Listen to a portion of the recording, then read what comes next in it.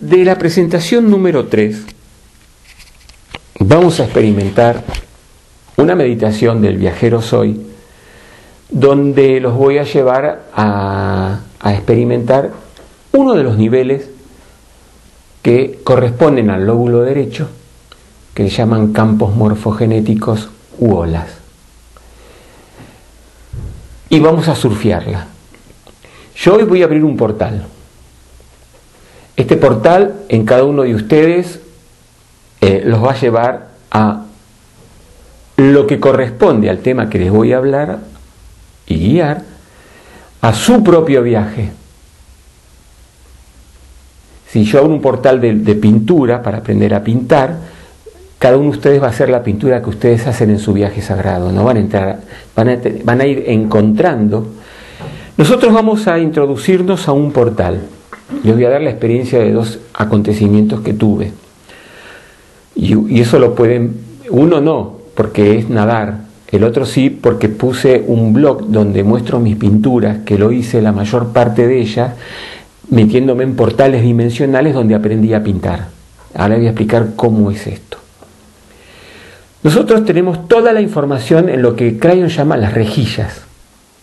Toda la información de la historia de la evolución del planeta lo que hace cada persona, lo que ejerció, arquitecturas, pinturas, hasta, hasta los, los cohetes para llegar a la luna o para estar, o, internet, todo, todo, todo está a nuestra disposición. No es casual que existió internet en el momento de la hora que estamos viviendo, 2013, mayo. No es casual. Si está afuera es porque está dentro. O sea que ese internet está dentro nuestro. Yo cuando voy a la, a, cuando conecto y me voy al internet, me voy al Google o me voy a, la, a, esos lugares que me llevan a donde yo escribo ir, yo voy a la estación central. Es una analogía. Yo estoy en Soy. Y ahí yo escribo a dónde quiero ir. La analogía de Internet nos viene como dicho, no hay que creerle al gurú acá, porque está todo demostrado ya, no, hay que, no es por obediencia que hay que creer. Esto, esto se lo hablo con analogías reales. Yo puedo ir a portales. Yo pongo la palabra, en mi caso yo puse aprender a pintar. No lo puse en Google, pero también lo usé Google, porque fui a técnicas de pintura cuando no sabía cómo hacer lejos o cerca. Pero van a ver cómo trabaja el universo cuando uno va al Internet interior. Quiero decirles que el Internet interior se desarrolla por el lóbulo derecho y que la pantalla, todos los periféricos de la computadora es el lóbulo izquierdo. El lóbulo izquierdo puede perfeccionarse a niveles de pantalla, sonidos son surround y visiones hasta holográficas, que a eso viene ahora, a niveles insospechados de perfectibilidad. Y los niveles de información de Internet del lóbulo derecho son inimaginables. ¿Por qué? Porque cuando una persona respira en unidad con el todo, el todo se abre a él. Solo que acá no voy a usar todo porque me vuelvo loco. Soy un viajero coherente. Soy un viajero multidimensional, no un loco que se dispara. Soy muy impecable en mi viaje sagrado, que vale decir como espejo el viaje sagrado del uno. Porque acá se conectan. Y veo en qué parte del cuerpo tengo que transitar el viaje del uno. Yo me metí en los pintores, quería pintar, Siempre me dije que quería pintar. Hubo un momento en que aparece una enfermedad en mí y sentí que la, que la pintura era un remedio para mí. Entonces encuentro a la persona adecuada que me enseña los primeros pinceles, pero yo empecé a trabajar, y se lo expliqué a ella, los niveles más profundos de mis memorias.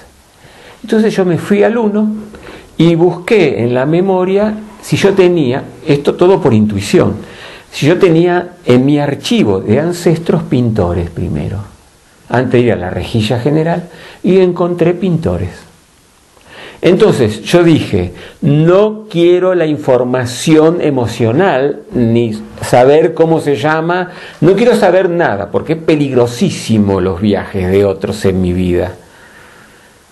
Aunque sean de mis ancestros, no quiero saber, porque tiene un olor a emoción vale decir a mierda, vieja, que me altera hasta mi cuerpo. Entonces yo entré en la técnica de ellos, entré en la memoria de la técnica. ¿Y, yo qué hago? Lo que vamos a hacer ahora, les voy a explicar. Obvio, empecé a saber pintar. Tenía una guía profesora del lóbulo izquierdo y empieza a aparecer lo siguiente. Gente que tenía óleos me lo empieza a regalar. Nunca antes. Con pinceles, 40 pinceles. Con, con, eh, este, con telas con madera me lo regalan.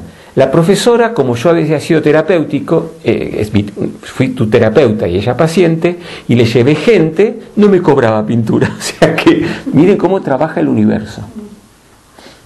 Cuando ella me enseñaba una técnica del lóbulo derecho, yo en casa hacía tres o cuatro cuadros más.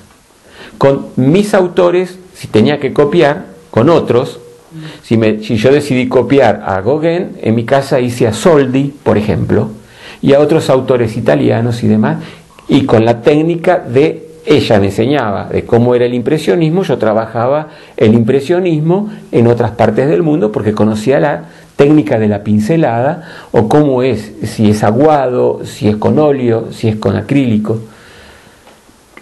En un año habré ido 20 encuentros con la profesora, me hice 80 obras. Indagué por tintura china, que se llama sumie, que es pintura japonesa, lo hice con un coreano, ¿no? pero es pintura del oriente. Hice acrílico, hice mm, eh, acuarela, hice, hice óleo, hice, hice paisajes, hice naturaleza muerta y hice pintura abstracta. Ustedes lo van a ver eso en el blog que yo tengo de Eduardo Antiveros 2012. ¿Quién te enseñaba? Era la intuición. Y miren cómo aprendí. Estaba haciendo un cuadro que llamé Camino a Shambhala, ¿no? Todo un río y se perdía allá en una montaña y había niveles, cerca, menos cerca, más lejos. ¿A quién se le ocurrió? A mí. Entonces estaba y no sabía cómo hacer lejos y cerca. Estaba en el colectivo, yéndome, creo que la quinta. Entonces me siento a hablar con una persona Empieza a charlar, me saca charla, yo charlo, termina siendo pintora. Le digo, vos sabés que estoy haciendo un cuadro que no sé cómo es cerca y lejos. Ay, mira, hay una técnica que es genial, que es la técnica del aguado. Vos vas poniendo aguado en, eh, decir, en, el, elemento conductor, aceite o barniz o, o le vas poniendo pintura blanca, muy aguada. Entonces vos haces capas. Entonces si, lo más lejos es lo que sigue detrás del río, ahí para atrás les haces un aguado de, blanco transparente. A lo demás atrás le haces otro aguado de blanco, ya no el día del el primero, el segundo. Y al último de todo, al cielo, le haces un último aguado. ¿Saben que se me hizo Brook así el cuadro? Se llama Camino a Shambhala. Está cerca, menos cerca, más lejos, muy lejos, tremendamente lejos, con aguados. O sea, yo iba poniendo capas. Nada más. El universo empieza a traerle las herramientas en el ahora necesario por sincronicidad. El libro, el canal de la, el zapping, llegan. Esto así trabaja el universo de la unicidad. Hay que estar abierto. Hay que estar abierto y ver las señales, que es todo un tema. Ya, ya va a haber una clase dedicada a ver las señales que no vemos todo, libro, material. Si en su momento quería aprender una técnica, era la amiga de mi amiga, de la amiga que venía y paraba tres días en casa y ya sabía la técnica y me regalaba todas las técnicas, porque son pocas las técnicas de pintura, es el arte de ver. Cuando se trabaja el lóbulo derecho es distinto a pintar cuando se trabaja el lóbulo izquierdo. Bueno, Hoy vamos a entrar en esos portales. Otro fue que quise nadar, entonces fui al portal de una parte mía y descubrí que en una parte de vida paralela yo tenía mucho que ver con los delfines. Más me apasiona. Y empecé a respirar ese campo electromagnético o campo morfogenético delfines. En la cuarta clase, el profesor me dice, mm, me hizo picar, me hizo ya respirar, yo iba una vez por semana. A la cuarta semana me dice, ¿cómo se nota que venís a practicar todos los días? No, yo no practico todos los días.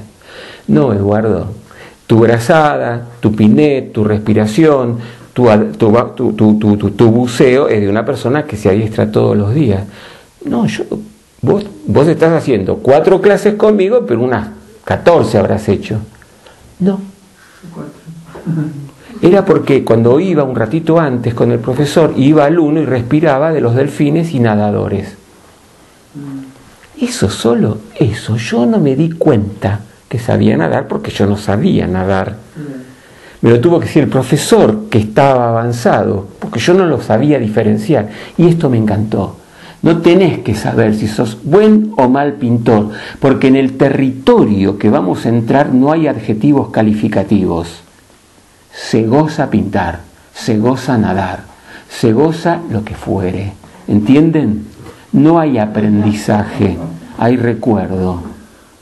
Yo gozaba esas cuatro clases que hice y el flaco me dijo, no, está, bueno, nada, yo primer sorprendido de mí, porque además no tenía referencia de si sabía o no nadar, yo no tenía referencia de qué estar avanzado o no. Entonces yo ahí entendía que estaba haciendo un excelente trabajo con mi minusvalía o con mi valía de ser importante o de ser mejor o peor que otros o conmigo mismo. Entonces maté, muté la autoexigencia y muté lo que debería hacerse y gocé de nadar. Y me importa nada. Si el universo me llevaba a, un campeonato olímpico, me iba a llevar el universo. Yo, en mi cabeza está, y eso se llama en el viajero misterio. Yo les voy dando, a, ¿qué me refiero a qué? Vamos a la práctica. Vamos al ejercicio. se sientan y se sienten cómodos. Yo los voy a llevar al portal de todos aquellos en el planeta Tierra que desde toda la eternidad de la evolución del planeta Tierra al día de la hora están trabajando sobre la expansión de la conciencia, sobre la evolución consciente planetaria. Llámale nuevo paradigma, llámale nueva humanidad, llámale grupo con nombre o grupo sin nombre o personas a solas que están despertando esta conciencia, nos vamos a conectar con esa inteligencia. Quiero compartirles que donde vamos a entrar es un ser vivo, solo que hace un viaje de reconexión de todo lo que es en el planeta Tierra. Es una parte viva, tiene color, tiene frecuencia, tiene sonido y se traduce en investigación, en libros, en poemas, en, en accionares de la evolución de la conciencia. No me importa cuál, sé que vamos a entrar en ese aspecto vivo. Es como, es como un órgano dentro de un cuerpo, trabaja para un cuerpo mayor. Es como un tejido dentro de un órgano es como una célula dentro de un tejido, es como, como células dentro de las partículas, es como un grupo de partículas dentro de las moléculas. ¿Sí? En esta conciencia donde la física cuántica llamó eh, eh, eh, este, la teoría de, los, de los sistemas, vamos a entrar a conciencia y voluntad. Generalmente entramos en el sistema del noticiero, del miedo, del pánico, del terror, del me roban, del sube la alza, también entramos, pero son formados por el lóbulo izquierdo, son psíquicos y astrales, son emocionales, son péndulos. Vamos a entrar a uno nuevo. En este territorio se lo llama la inspiración, es como que vamos a estar tocados por el espíritu. Porque estos portales son en sí mismos espíritus de la tierra, pero son portales. Llevo la atención a la respiración. Me preparo para ir a la conciencia de unicidad.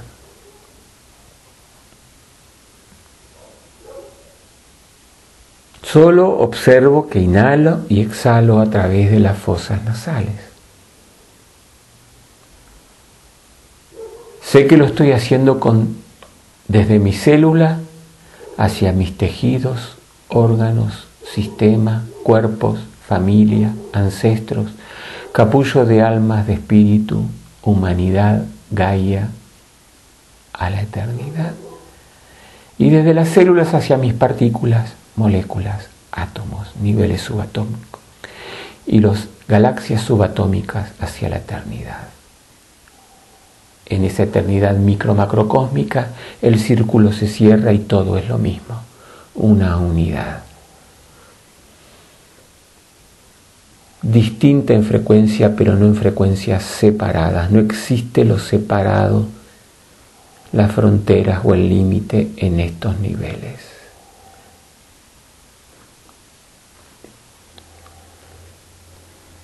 Sé que al hacerlo me voy conectando a la estación central, a quien en realidad soy. Simplemente puedo respirar con la realidad multidimensional, macrocósmica y microcósmica y sus multidimensiones hasta saber decirme soy al exhalar, porque lo estoy inhalando con la existencia toda y exhalando. O puedo empezar a recordar qué viajero soy.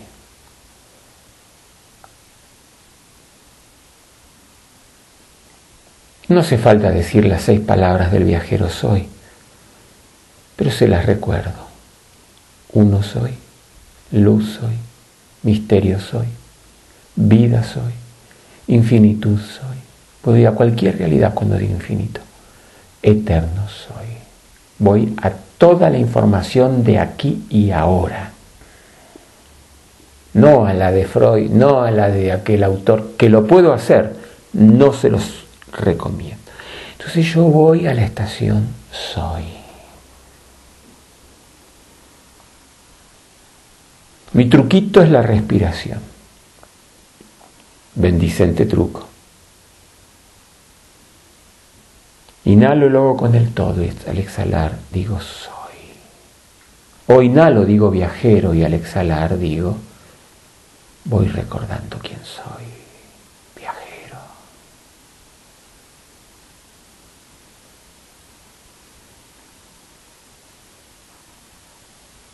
Automáticamente voy a ir al portal que voy a anunciar. Esto se puede hacer en forma interna sabiendo a qué portal voy a ir.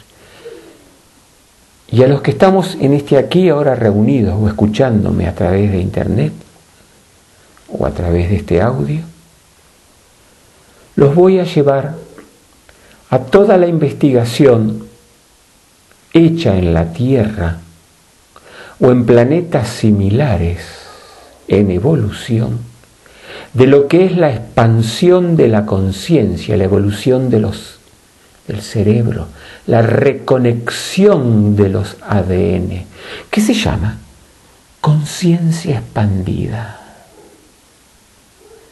Sea esto investigaciones científicas, místicas u otras que no conocen.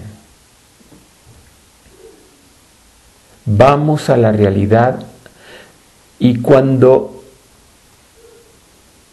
voy haciendo una cuenta regresiva de 3 a 1, yo me ubico en la estación central de la conciencia de expansión. 3, 2, tiene miles de portales. Estoy en el centro de ese portal que voy a empezar a inhalar y exhalar a mis células, a los niveles microcósmicos y de ahí hacia mis niveles macrocósmicos, evocando mis cuerpos físico, anímico, mental, sutil, mi familia, mis ancestros de campo y mis ancestros, los invito a como una sola fuerza y un solo poder, abrirme a los conocimientos que en mi viaje sagrado necesite, en el aquí y ahora necesario, que es expandir el recuerdo de quien soy en todas mis dimensiones y realidades de mi viaje sagrado.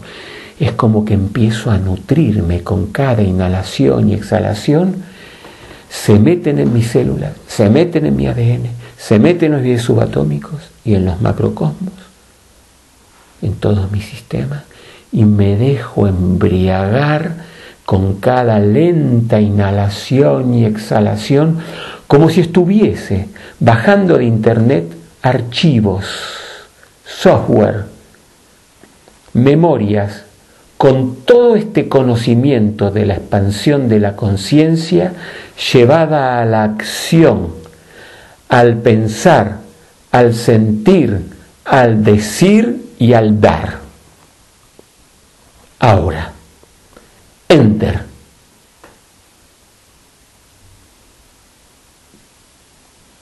Códigos de luz, circuitos que no conocen pero sí actívase en el lóbulo derecho, están ubicando la información de la expansión de la conciencia en el exacto lugar de mi viaje sagrado, ni de más ni de menos, en perfecto equilibrio y armonía. Voy sintiendo cómo va entrando este campo de energía, respira todo mi ser, todos mis cuerpos, todo el planeta Estoy en el territorio de Hoponopono donde yo es de mí hacia mí, de mí hacia los demás, de los demás hacia mí, de los demás hacia los demás. Estoy creando esta realidad del despertar de la conciencia, de los demás hacia mí, de mí hacia los demás, de los demás hacia los demás, de mí hacia mí, con cada lenta inhalación y exhalación. Yo estoy emborrachándome, impregnándome de nuevos estados expansivos de la conciencia llamada evolución consciente en mis células, en mi sangre, en mis partículas, en mis moléculas, en mis átomos, en mis niveles subatómicos, en todos los que me rodearon, rodean y rodearán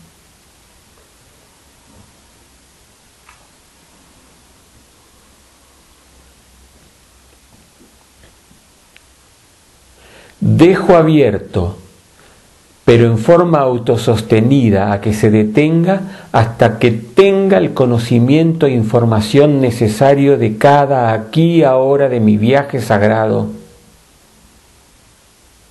Esta expansión de la conciencia. Que se introduzca en mis sueños, que se introduzca nuestro inconsciente, que sane, eleve, que entre hondo, cada vez más hondo libere,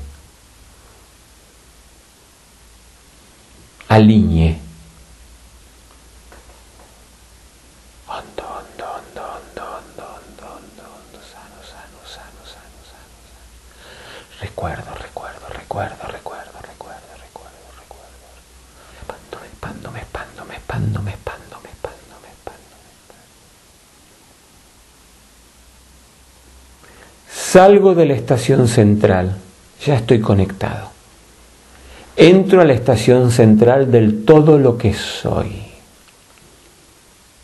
Tengo que sentir la diferencia de frecuencia. Hasta sabernos viajeros multidimensionales, estos son los pasos mínimos necesarios. Estoy en el uno. Me olvidé de lo que hice estoy en otro ahora, lo otro queda autosostenidamente activado. Me acuerdo que está mi cuerpo aquí en capilla, día, hora, lugar, y voy abriendo los ojos. Los que están escuchando esto por MP3 o internet, los espero hasta el próximo.